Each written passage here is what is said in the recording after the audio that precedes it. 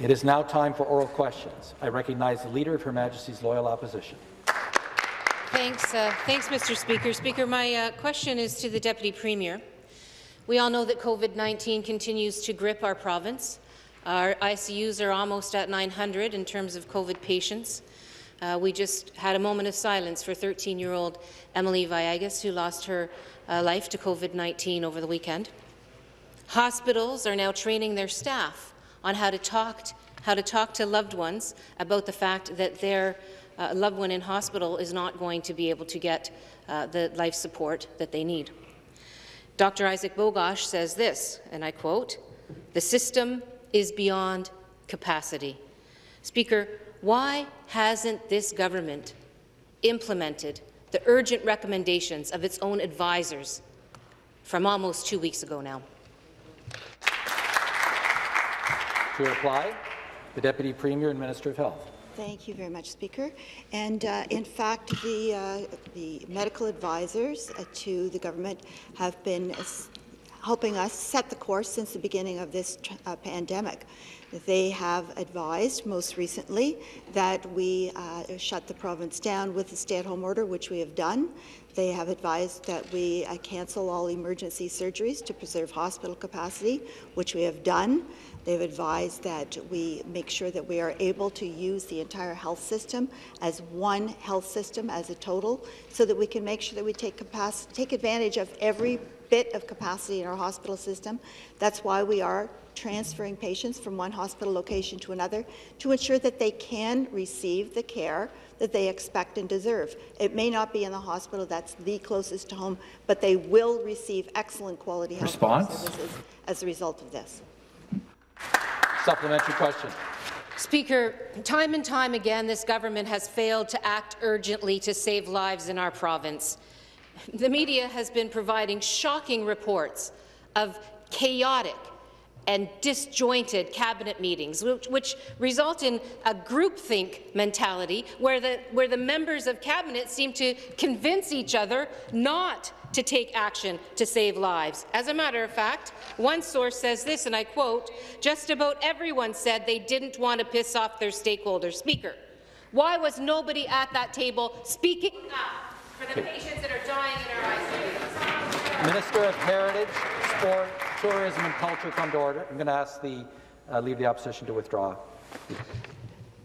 Just about everyone said they didn't want to tick off their stakeholders. Speaker. Okay. Order. Minister of Health to reply. Speaker. We've been taking the advice of the medical experts since the beginning of this pandemic, starting with Dr. Williams, our Chief Medical Officer of Health, the, the preventive health measures table, the science advisory table. There are numerous medical experts who have been advising us. We have been taking their advice. That's why we brought forward first the uh, province-wide emergency brake and now the stay-at-home order. We've been advised that we need to limit transmission in the community in order to save our hospital uh, system and to save lives. We've been doing that. We've ramped down the emergency surgeries, which was recommended. We've transferred the patients to make sure that we have adequate capacity across the system. And uh, we are continuing to follow their advice uh, every step along the way. They are the experts in this area. That is what both I listen to as the Minister of Health and our Cabinet listens to when they're making Cabinet decisions.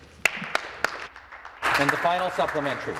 Well, Speaker, unbelievably, the Premier is still putting political interests first. In fact, all weekend long, his PC MPPs were twittering and you know tweeting away in in, uh, in defence of the Premier of this province instead of in defence of the people who are struggling for breath in the ICUs.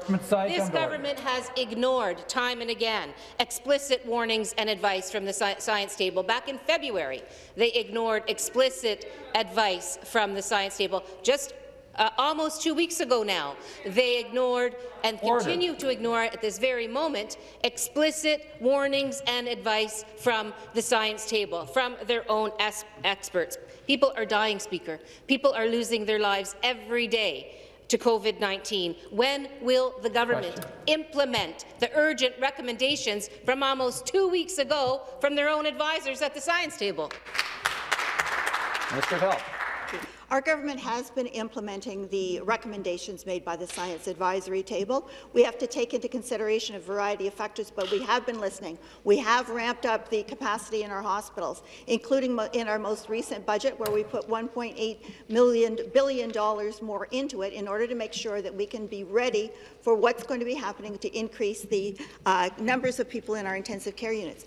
The Science Advisory Table warned us about the variants of concern taking over as a dominant strain in our province, which they have, which we are now prepared for. We have been listening. We will continue to listen. We will continue to take their advice, and we will be able to follow Order. that advice with every measure that we're going to take to save the health and well-being of the people of Ontario.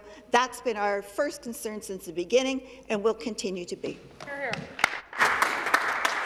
The next question, Leader of the Opposition. Thank you so much, Speaker. My next question is also for the Deputy Premier.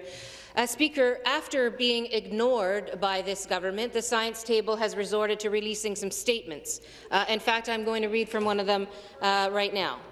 And it says, uh, this is advice from the uh, science table. Quote, vaccines are essential in slowing the pandemic. This means immediately allocating as many doses as possible to hotspot neighbourhoods, vulnerable populations, and essential, essential workers, specifically 50% of vaccines to 74 hotspot neighbourhoods.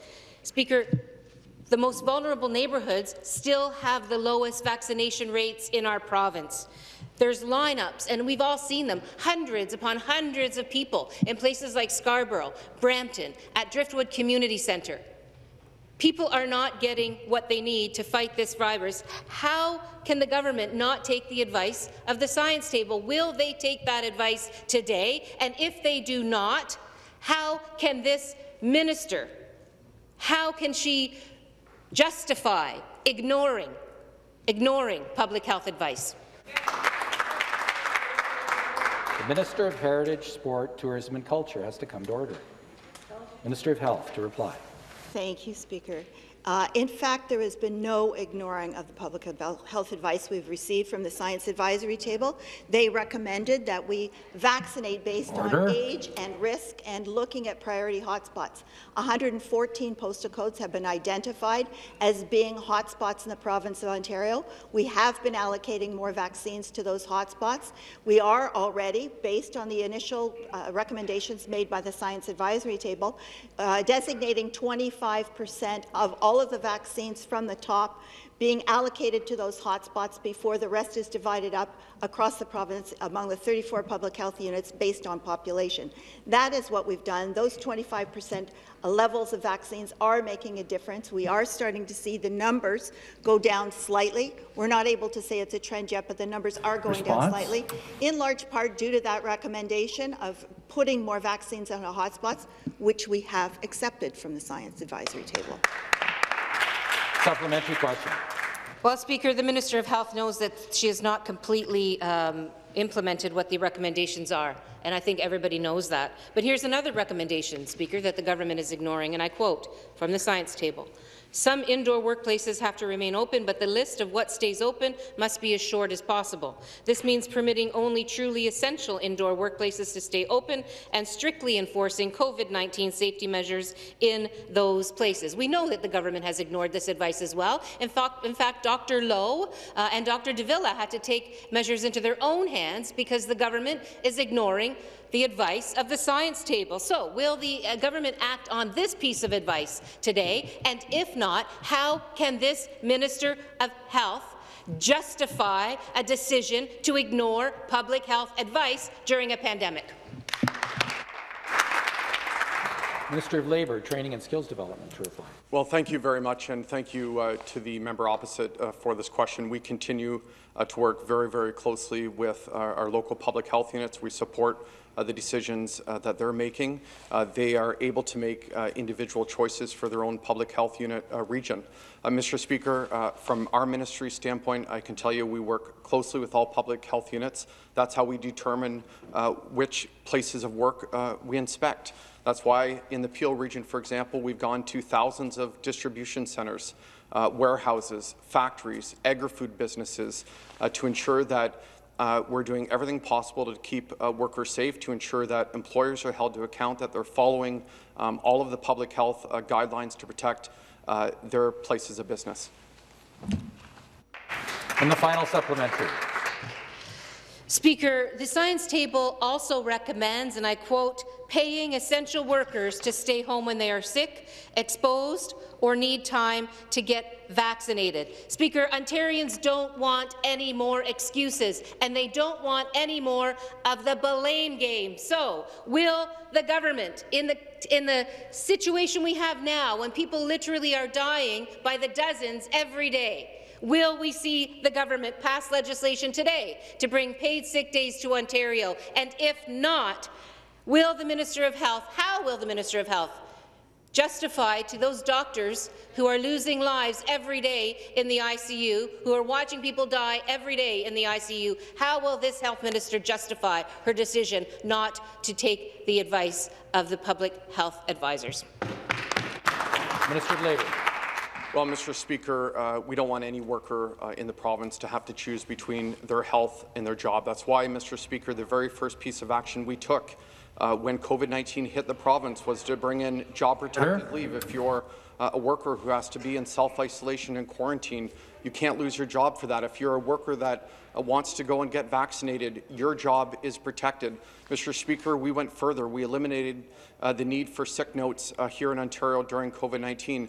But, Mr. Speaker, we were really disappointed. We know that we have to have a federal partner when it comes to paid uh, sick days to ensure that the payments get out uh, to workers across the province. And, Mr. Speaker, we were disappointed with the federal budget uh, last week, over $100 billion in new spending, and they still continue to pay workers not only in Ontario but across the country below minimum wage. Mr. Speaker, Response? the federal government has to be our partner, Opposition has to step up and do more for workers here in Ontario. Thank you. The next question, the member for Brampton East. Thank you, Speaker. My question is to the Premier. Brampton is in a crisis. We have a COVID-19 positivity rate of over 22%, making it one of the highest in the entire country. People are getting sick and dying at an alarming rate. Our only hospital at Brampton Civic is struggling to keep up with the surge of COVID-19 patients. Now, Brampton was a COVID-19 hotspot since the beginning of this pandemic, and from the beginning, we were left behind by the Conservative government. We were left behind when it came to testing and getting access to the resources we need to fight COVID-19, and now when we need it the most, we're being left behind again when it comes to getting access to the life-saving vaccine. Per capita, Brampton has one of the fewest pharmacies giving out vaccines when compared to other municipalities throughout Ontario. We only have one COVID-19 pop-up location, which is not even located in Brampton and actually doesn't even service our entire city. Question. When will the Conservative government finally stop abandoning Brampton families and give us the support we need to fight COVID-19? Minister of Health. Thank you very much, Speaker. And in fact, uh, Brampton has been given uh, significant assistance during the course of this pandemic. There is no suggestion that they're receiving any less than they're entitled to. In fact, out of the 114 hotspots that have identified across the province, there are 25 hotspots in the Brampton and Peel area, allowing access to more vaccines, that 25% that I was speaking about before, 25% of all vaccines off the top are divided amongst those public health regions. Brampton has 25 of them.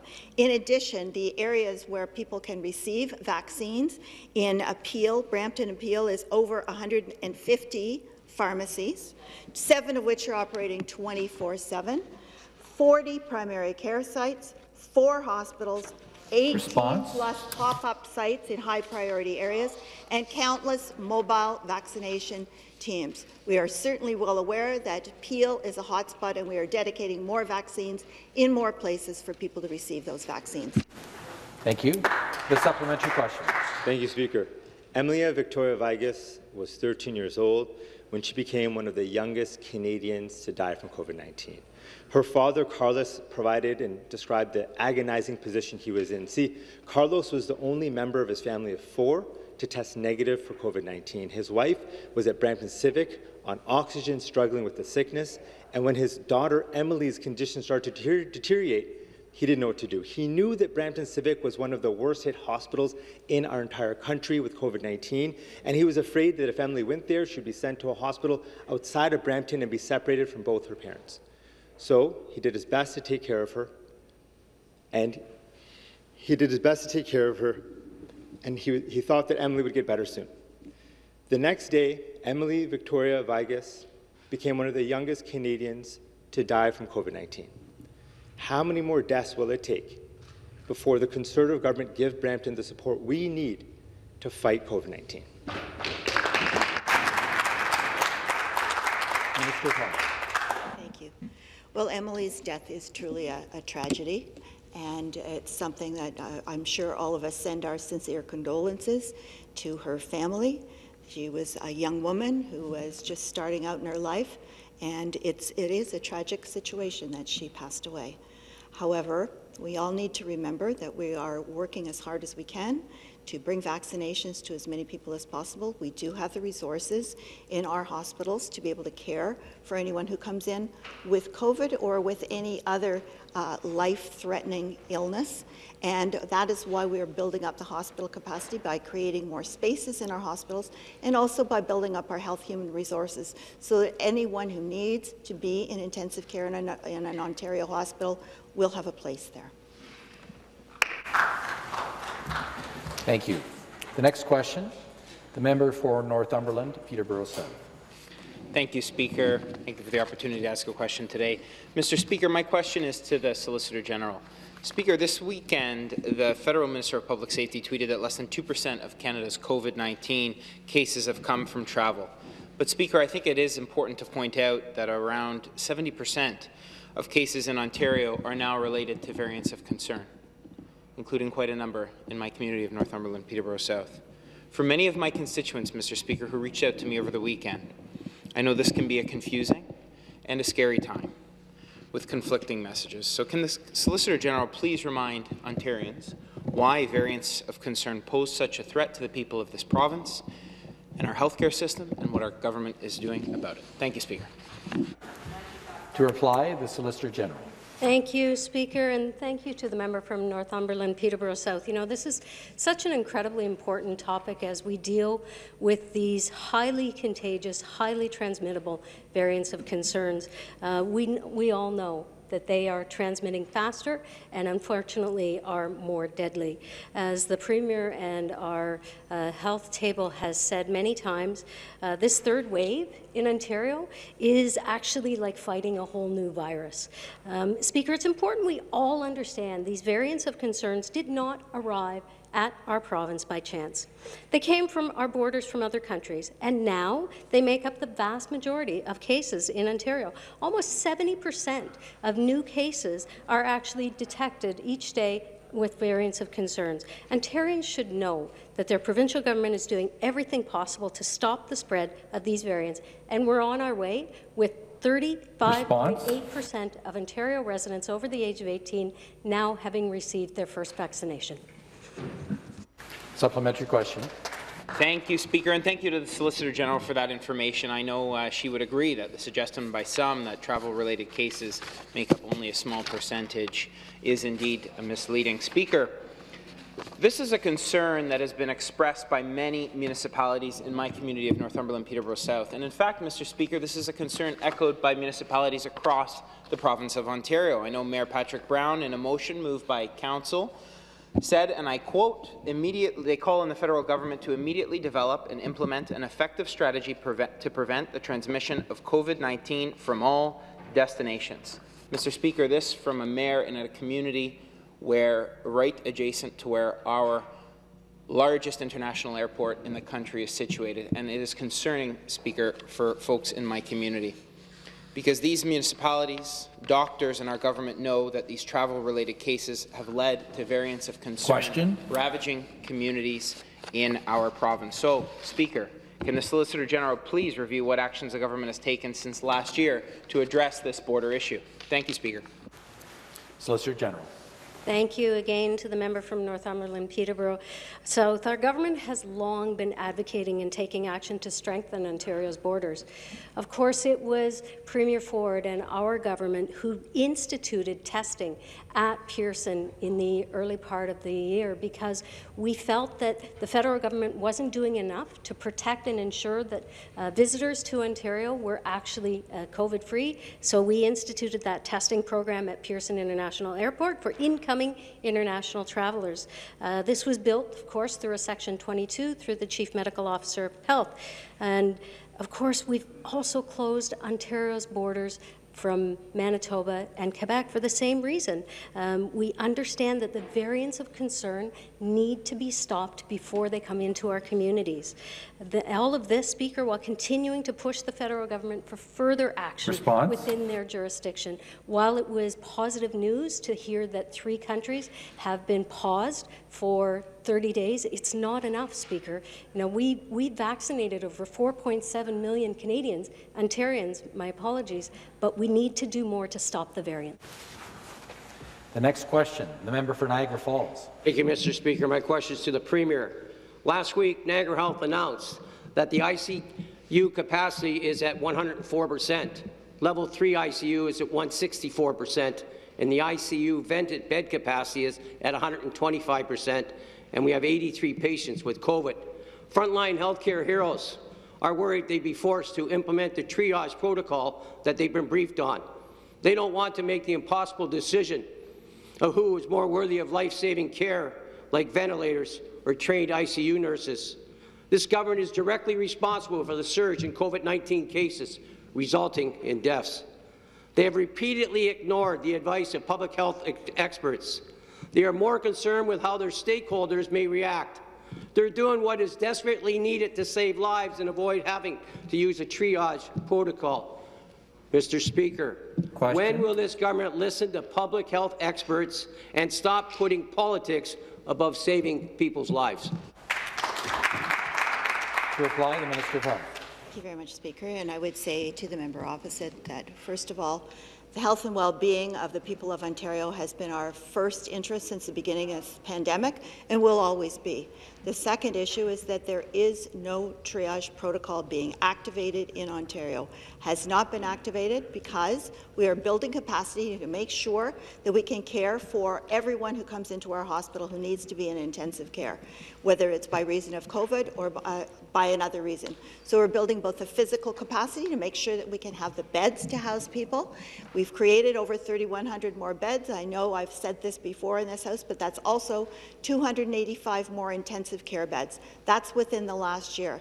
Even within our last budget, we allocated another $1.8 billion to create more capacity. But we're also creating more health human resources Response? in order to make sure that we'll have the people to operate in those hospitals. I'll be able to speak about that in my supplementary. Thank you, Speaker. And the supplementary question. Back to the Premier. Uh, I just want to say I think that's a myth. Niagara has been a COVID hotspot with 387 deaths. Some nurses are seeing two and three patients die per shift. This government calls them heroes but refuses to listen to public health experts. Last week, the president of Niagara Health said, critical care capacity at Niagara Health is in a state of crisis. We've opened additional critical care beds in other areas of the hospital, but we have limited critical care trained staff to further increase capacity. And the Medical Advisory Committee briefed doctors on the triage protocol. This is a result of this government putting stakeholders' interests over public health advice. Dr. Della said, it is very worrying when it becomes clear that the Cabinet isn't making science-based decisions. He said that, not Wayne Gates. Speaker, when will the Premier immediately implement provincial paid sick days, ensure that paid time off for vaccines, close non-essential businesses, Question. and get direct financial support for workers and small businesses in the province of Ontario? Thank you. Thank you. Minister of Labour, Training and Skills Development. Well, thank you uh, very much, Mr. Speaker, and I thank the member opposite uh, for his question. Uh, Mr. Speaker, I think uh, all of us uh, jointly together can thank all of the people uh, in Ontario. Uh, as of today, Mr. Speaker, about 4.7 million people have received uh, their vaccination. That is good news. That's over 30 percent of eligible adults in the province of Ontario. That's how we're going to work to defeat COVID-19. But, Mr. Speaker, we need to have a federal partner to help us get through COVID-19 working together. Mr. Speaker, that's why we need uh, more vaccines uh, to the province faster. That's why we called on the federal government to step up and do a better job at securing uh, Canadian borders. And, Mr. Speaker, we need to have a federal partner when it comes to paid sick days for the federal government to pay Ontario workers less than minimum wage is wrong. We're calling on the federal government as well, uh, working with other provinces, including the BC NDPs, to call on the federal government to step up, work with us. Let's get paid sick days for everyone in Ontario. Thank you. The next question, the member for Don Valley East. Thank you very much, uh, Mr. Speaker. My question is to the government House Leader. Uh, Speaker, uh, the government has committed to some sort of uh, supplement to the federal program. Uh, we learned that after the apology by, by the Premier that something's coming, but details have been very limited. We haven't heard anything. Even today, uh, we, we haven't heard any details. Uh, there's no question, Mr. Speaker, that we need in Ontario some type of paid sick program. So I'm asking all members of this uh, House uh, to support Bill 247 that we'll vote on today for 10 paid sick days. So, Speaker, through you to the minister, if the, if the government has changed its mind and now is supporting paid sick days, will the minister, the House Leader, support um, a free vote for all of his members in the legislature today? Government House Leader. Thank you very much, Mr. Speaker. Uh, Mr. Speaker, I've uh, already indicated, uh, our members on this side have indicated that we will not be supporting the member's bill. I note that his own leader uh, does not support the bill that he put forward in the House, uh, uh, Speaker. But more, uh, more importantly, as I've said on a number of occasions, we want uh, uh, to ensure, and as the Minister of Labour has, has highlighted, we want to make sure that there is a regime in place that protects all workers.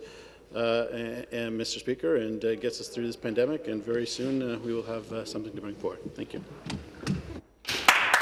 Supplementary question. Well, thank you. Uh, thank you very much, Mr. Speaker. It's unfortunate the, uh, the House Leader has said that uh, he will not be supporting uh, the bill and the government will not be supporting the bill.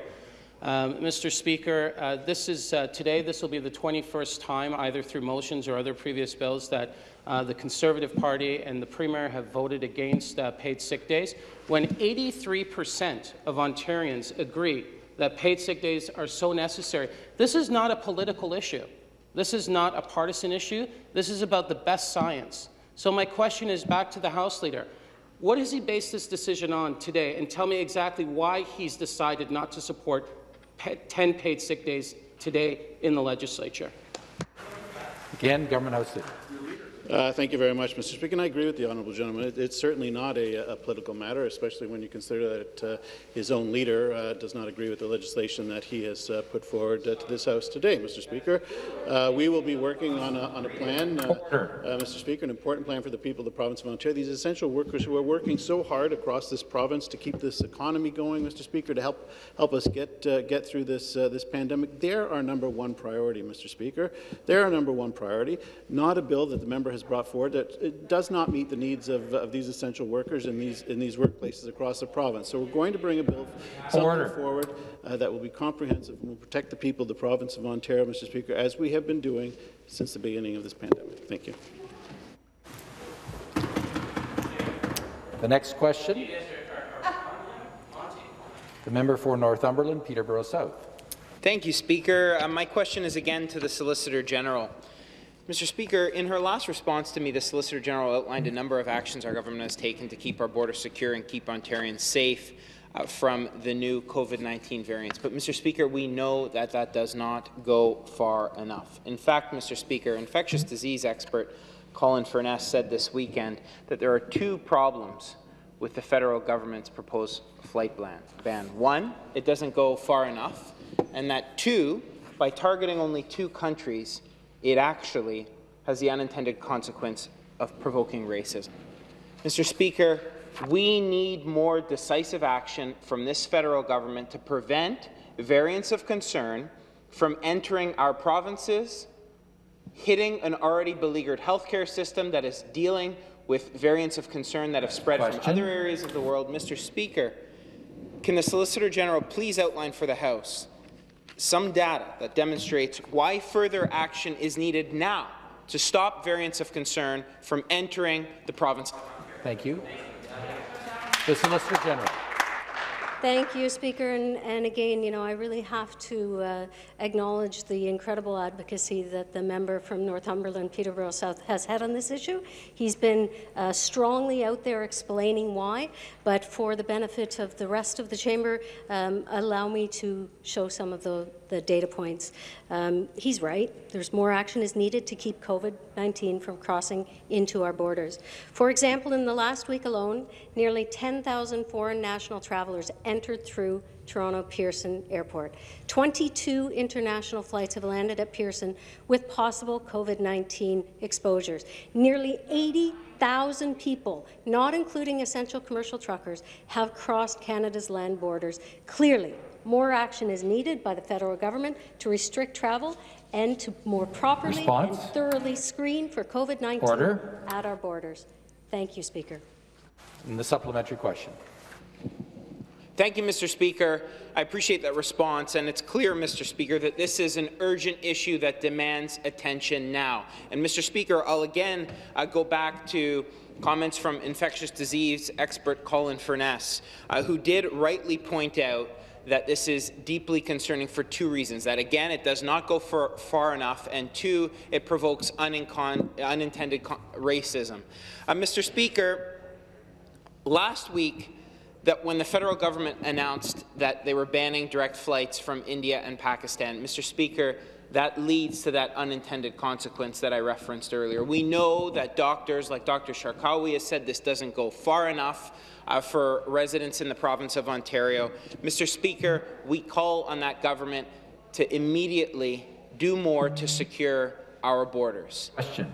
Much more must be done right now. So can the Solicitor General be unequivocal about what our message to the federal government is today, Mr. Speaker, for the people of Northumberland, Peterborough South, and for concerned Ontarians across this province? Thank you.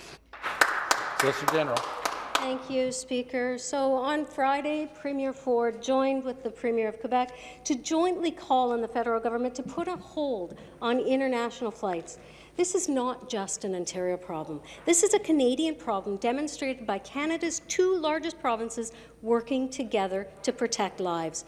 We ask the federal government to strongly consider the following. First, reduce mobility of COVID-19 variants by further reducing incoming international flights.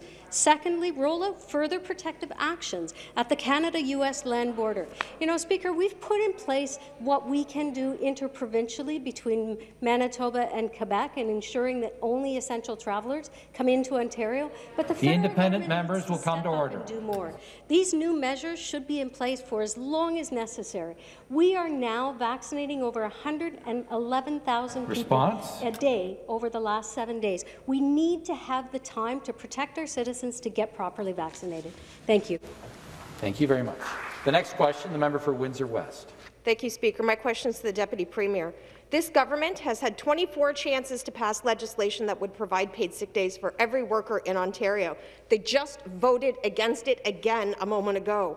ICUs and hospitals are overrun with COVID-19 patients. Variants are getting out of control, leading to more and younger essential workers needing hospitalization and dying from COVID-19. Public health experts, nurses, doctors, business owners, mayors and city councillors, essential workers, those of us in the official opposition, and the government's own science table have pleaded with this government to pass paid sick day legislation and to save lives. Paid sick days prevent workers from having to choose between paying rent, buying groceries, and going to work sick. At every opportunity, the government has refused to take action and implement paid sick days. Speaker, why won't the Premier and his government do the responsible thing and immediately implement paid sick days for Ontario workers? Why do they feel that it's acceptable to let people get sick and die? Right Minister of Labour, Training and Skills Development. Well, Mr. Speaker, uh, workers in the province of Ontario uh, shouldn't choose between uh, their health uh, and their job, Mr. Speaker. That's why we moved decisively to bring in job-protected leave. If any workers impacted by COVID-19, if they're in self-isolation, in quarantine, if you're a mom or a dad who has to stay home and look after uh, a son or a daughter because uh, the schools have been closed, you can't be fired for that. Uh, Mr. Speaker, we uh, went Order. further. We eliminated uh, the need for sick notes. We also ensured that there was job-protected leave uh, for uh, vaccinations. But, Mr. Speaker, uh, we need to have a federal partner. Uh, we heard loud and clear uh, from the uh, BC NDPs last week who called uh, for the federal government to step up uh, as well. There is a system in place that's delivering uh, checks to workers, but we can't have the federal government paying workers in Ontario and other workers Response? from other provinces less than minimum wage. They have to be part of the solution. Supplementary question. Thank you, Speaker. That response shows the complete lack of personal responsibility that is letting people get sick and die in this province. It's shameful. Many essential workers are living paycheck to paycheck. One missed day of wages or break in income means the devastating choice of paying rent or feeding their family. Birgit, an ICU nurse working with COVID-positive patients, shared last week that she contracted COVID-19 in October. She and many other frontline heroes don't have paid sick days. Jurisdi jurisdictional ping-pong doesn't help work workers like Birgit and won't save lives. Last week, while COVID cases soared among Ontario workers, the Premier made a non-announcement on paid sick leave that let everyone in this province down yet again. Paid sick days could have saved lives months ago, could save lives tomorrow and in the months to come. The Premier and his government are responsible for the death of every essential worker and their family members that have passed because of COVID-19 because they refuse to do what is necessary to save lives. Speaker, my question is simple. How many people have to get sick or die before this government listens to health experts, workers, and many others and implements paid sick days? What is their magic number? Minister of Labour. Well, Mr. Speaker, uh, we are going to get this right. And, Mr. Speaker, uh, we need to have a, a federal partner to help us uh, get through COVID-19. Order. Mr. Speaker, we need The opposition come to order. The independent members come to order. More vaccines for uh, every adult in the province of Ontario. Mr. Speaker, we need the federal government to step up and increase payments to workers uh, in this province. It is an injustice that workers in Ontario are getting uh, paid below minimum wage. Mr. Speaker, the infrastructure is in place to quickly increase those payments uh, to workers. And thirdly, Mr. Speaker, we need the federal government to step up, secure our borders, secure our airports, prevent variants of concern from getting in to the province. We're going to continue every single day standing up for the people of this province. Okay, I'm going to ask the House to come to order. I need to hear the member who actually has the floor and has been recognized to speak. And I can't when there's a constant barrage of, of heckling on both sides of the House. The next question, the member for York Centre. Thank you, Speaker. My question is to the Minister of Health. Last Thursday, the Ontario Science Table published a science brief titled Behavioral Science Principles for Enhancing Adherence to Public Health Measures. The science brief advises the government to apply various adverse behavioral strategies to maintain and enhance adherence to public health measures. The measures include persuasion and modelling of public health behaviour. It recommends the drawing of various alternatives in the event that Ontarians do not comply. It recommends instilling fear of missing out. It invites incentives to encourage obedience. My question to the Minister of Health, does she believe that it's appropriate for the Ontario Science Table to recommend that the government engage in psychological manipulation of Ontarians, and does she intend to accept this particular recommendations of the Science Table? Minister of Health. Thank you very much, Speaker. We have been listening to the recommendations of the Science Table from the beginning of this pandemic. They recommended that we uh, engage in the lockdown in the uh, emergency brake uh, lockdown, which we then uh, transmitted into a stay-at-home order. They also recommended that we ramp down surgeries to make sure that we would have availability in our public health, public hospitals for increased number of people who've fallen victim to COVID because of the variants of concern. They also recommended that we look at the hotspots, that we allocate vaccines based on age, risk, and on uh, the basis of the hotspots. 114 different hotspots were identified in 20 different public health units. We are following those measures. We are implementing extra vaccines into those areas, 25% more. They have recommended 50% more, and we're studying that as well. The recommendations that have been made Response? by the uh, Science Advisory Table have been followed, uh, for the most part, by the government, and we recommend we look forward to hearing more of their recommendations because they do contain people who are experts in this area. They have provided us with sound modelling, which has uh, meant they. Thank you. The supplementary question. Thank you, Speaker. To the Minister of Health. While some Ontarians were moved by the Premier's apology last Thursday for attempting to impose a police state in Ontario, the government's policy with respect to its baseless outdoor restrictions since Thursday has not moved one bit. Not a single doctor in the entire province of Ontario agrees with the government's restrictions on outdoor recreational activities. Every doctor agrees that the risk of transmission is negligible or exceedingly low. In fact, I'll challenge the minister to present one example of outdoor transmission in the province of Ontario. She won't because she cannot, Speaker. So my question to the Minister of Health, why is the government acting against the advice of every physician in the province? Does she agree that the risk of outdoor transmission is exceedingly low? And if so, will she give Ontarians some much-needed relief and let them play outdoors? Minister of Health. Thank you, Speaker. Well, uh, to the member opposite, I would say to you, through Speaker, we are doing, taking the steps we are taking to prevent transmission of COVID-19 and the variants of concern, which we all know are much more transmissible, result in more hospitalizations, more ICU admissions, and unfortunately, more deaths. So while we encourage people, especially with the weather being nicer, to go out for a walk, get your exercise, go for a walk or a run, whatever you want to do. However, what is not good is when people are together in larger groups because they, that is how the virus is transmitted. So of course we encourage people to be outside. We of course encourage them to engage in, in healthy activities. However, it is not good for people to be in larger groups without maintaining the public health measures. That is why we brought in the provisions that we did, to maintain Response? the health and well-being of the people of Ontario. Thank you. The next question, once again, the member for Northumberland, Peterborough South.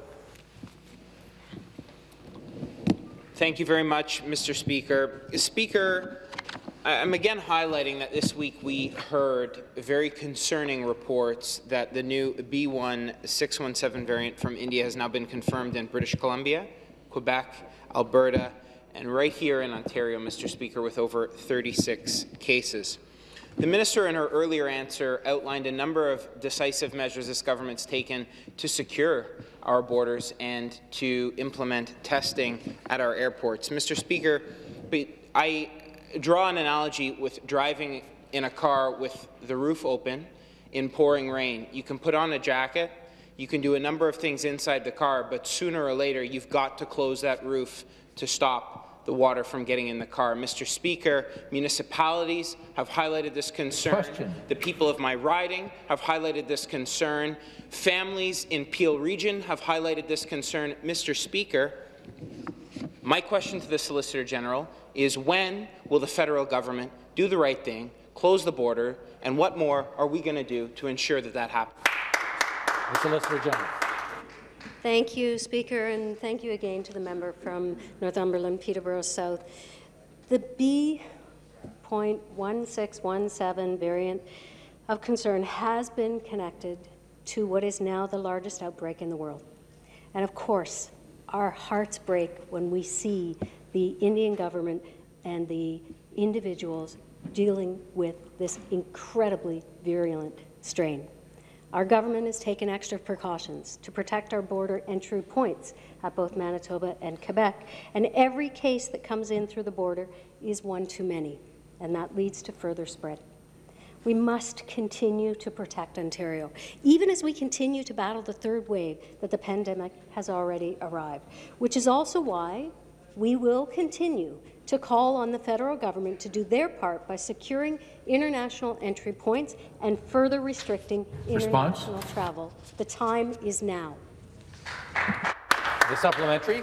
Thank you, Mr. Speaker, and thank you to the minister for that answer. You know, Mr. Speaker, it's never too late to do the right thing to secure our borders, to prevent the next variant of concern from entering this country and ravaging our already strained healthcare system, Mr. Speaker, the time to act is indeed now. Notwithstanding the critical issue of protecting our border, Ontario remains in the midst of a third wave that we're seeing globally, Mr. Speaker. Maintaining public health measures continues to be of the utmost importance to stopping the spread. Speaker, can the Solicitor General remind Ontarians what they can do to keep themselves safe and their loved ones safe in the province of Ontario? Thank you, Speaker. The Solicitor General.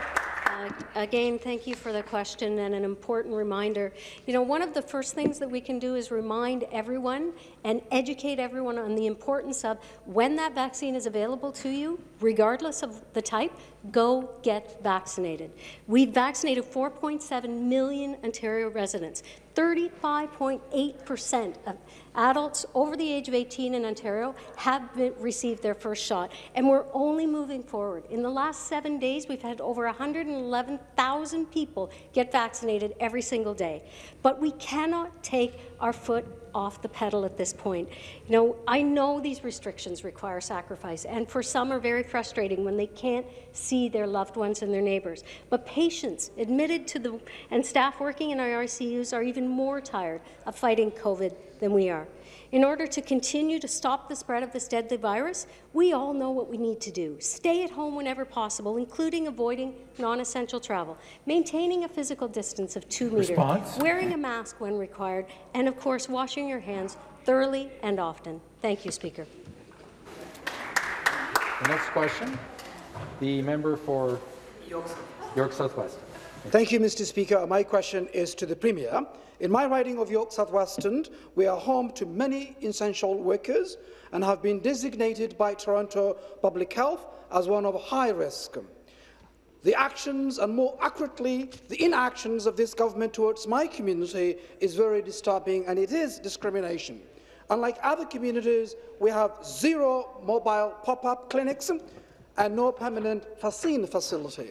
When will the Premier acknowledge the risk our community faces and provide us with mobile pop-ups, clinics and a permanent facility that would help mitigate transmission, protect families and treat our communities with urgent, needed and not as an afterthought.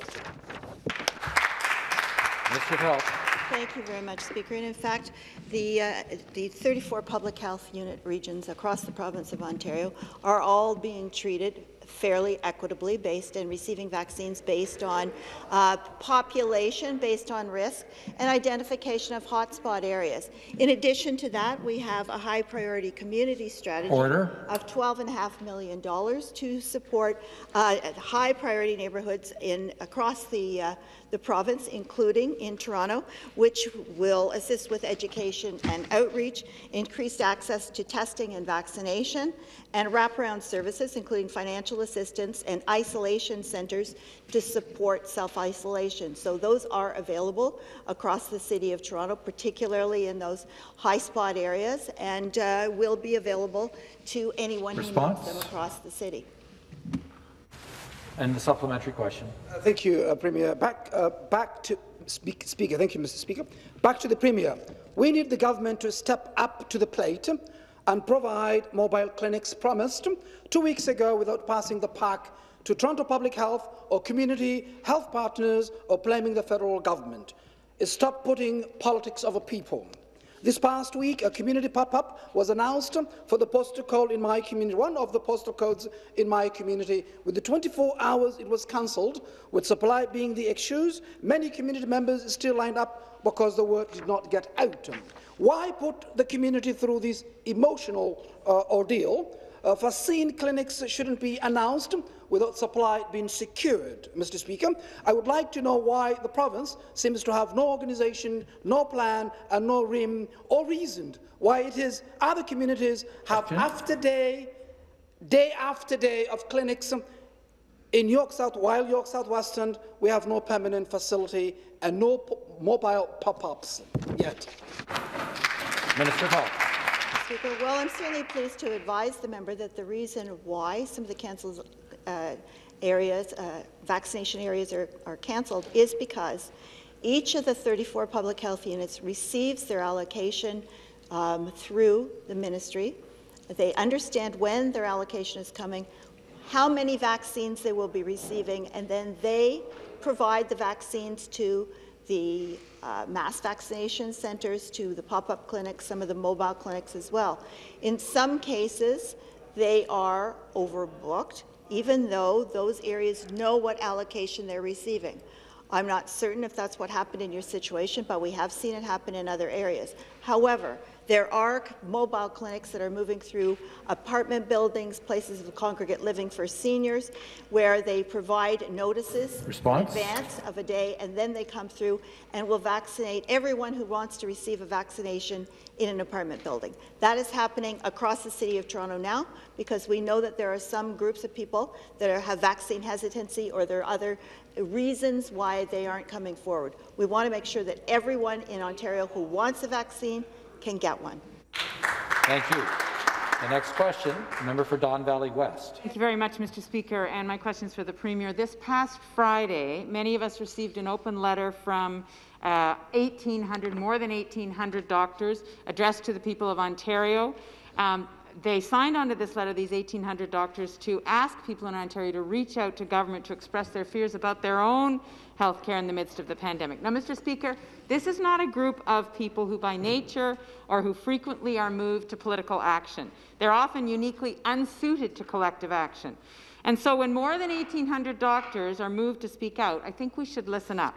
They're advising paid COVID recovery days, a workplace testing and vaccination plan, more available doses of vaccine to hotspots, and improved transparent public information. This is what the science table has already called for, Mr. Speaker, but these are doctors who are seeing it not happening and are calling it out. Much of what these doctors have called for is already in the public realm.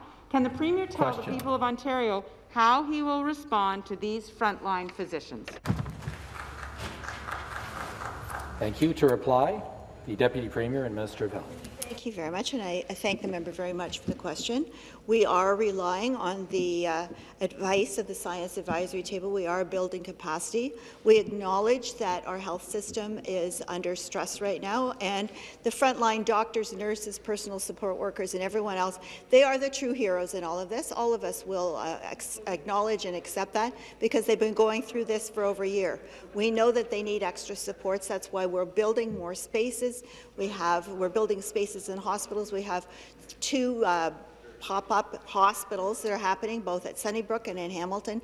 And we are building on the Health Human Resources by building on the Nurse Extern program, by bringing in more uh, personal support workers. And we've also asked the federal government for assistance in addition to different provinces. We have received positive response from several of the provinces to um, help our uh, health human resources we have here, and we're continuing to build that so that anyone who needs to be in hospital right now will have excellent and appropriate care.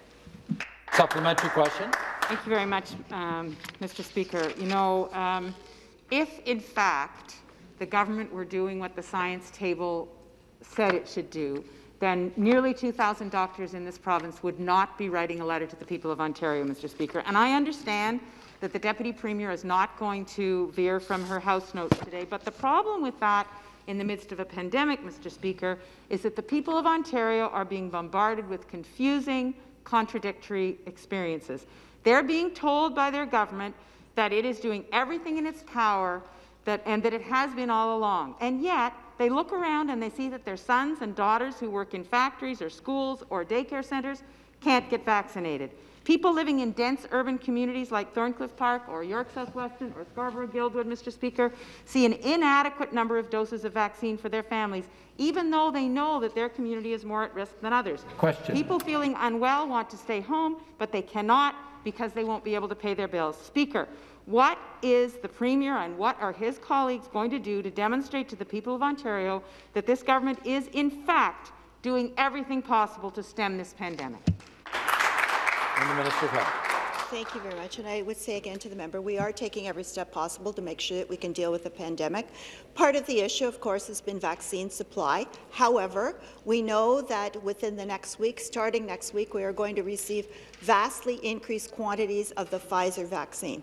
That is really important. We're also looking at how do we roll out the Pfizer vaccine in a modified pilot into pharmacies, because up until now it has been mostly uh, AstraZeneca that's been available in pharmacies.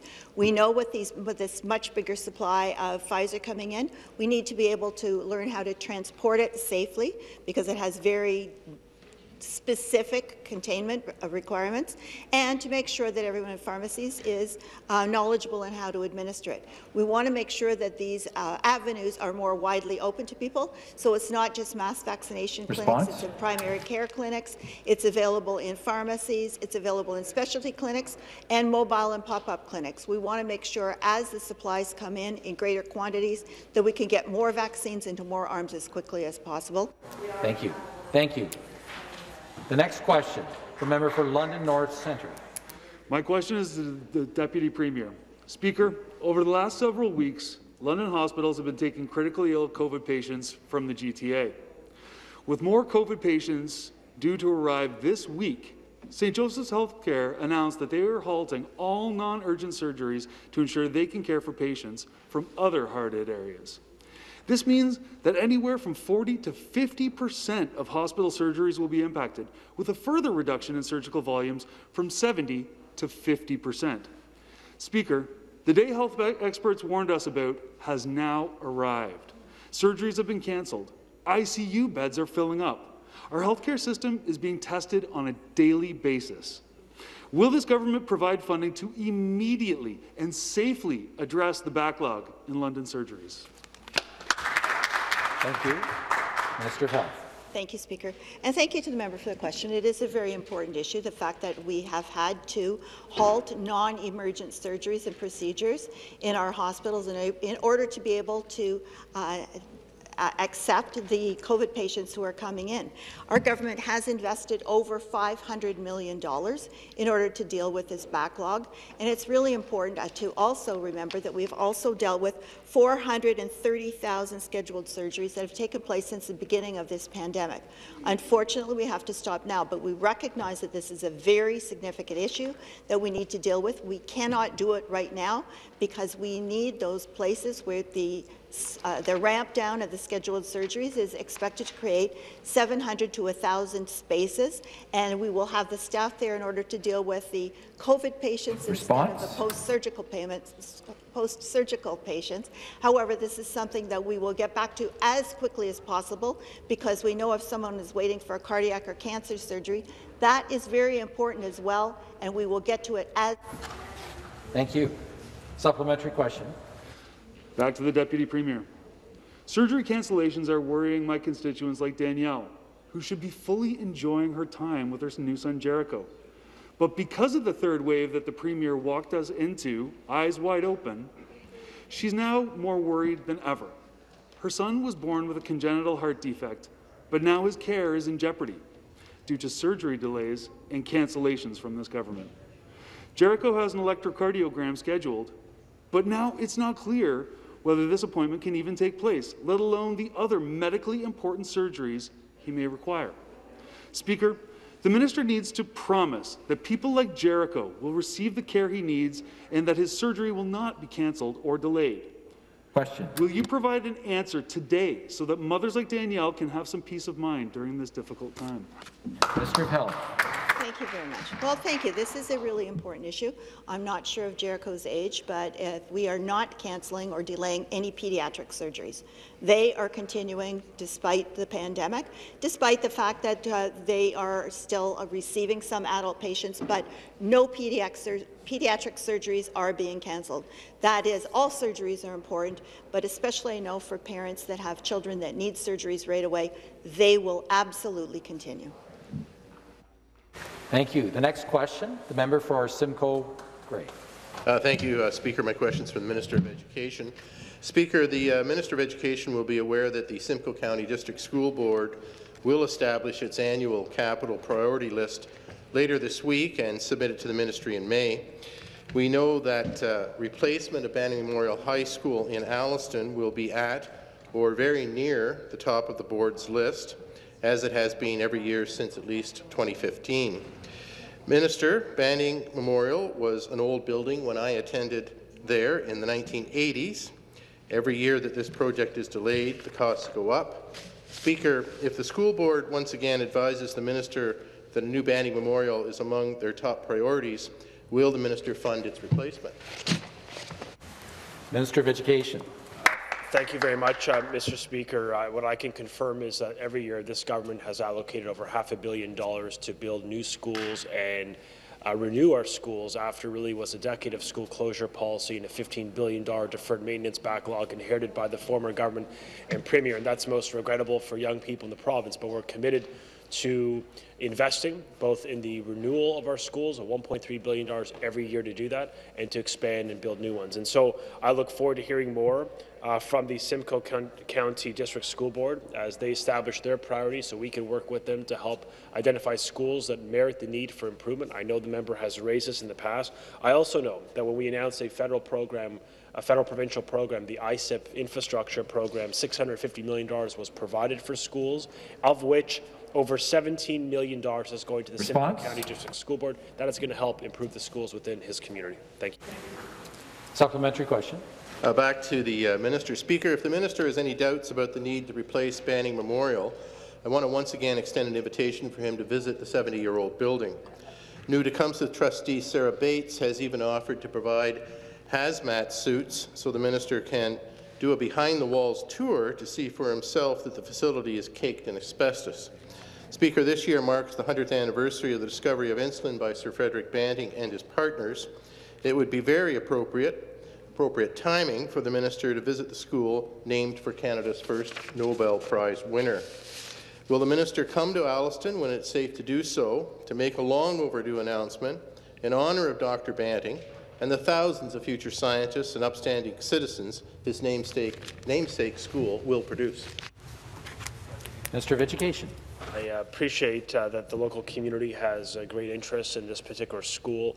Uh, we will continue to work with the school board, the Simcoe County District School Board, in helping them uh, prioritize improvements to some of their older buildings. We also know that there are many across the province. It's why every single year under this government and premier, we've allocated over $550 million to build new schools in every region of this province, including in Simcoe County. And we'll continue to do that. We'll work with the member the board, and the community, and of course parents, to understand how this government can support better facilities for the next generation within his community. Thank you.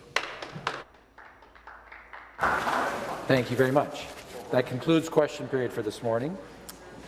Next, we have a deferred vote on a motion for closure on the motion for third reading of Bill 269, an act to implement budget measures and to enact and amend various statutes. On April 20th, 2021, Mr. Bethlenfalvy moved third reading of Bill 269. On April 22, 2021, Mr. Calandra moved that the question be now put. The bells will now ring for 30 minutes, during which time members may cast their votes on Mr. Calandra's motion that the question be now put. I will ask the clerks to please prepare the lobbies.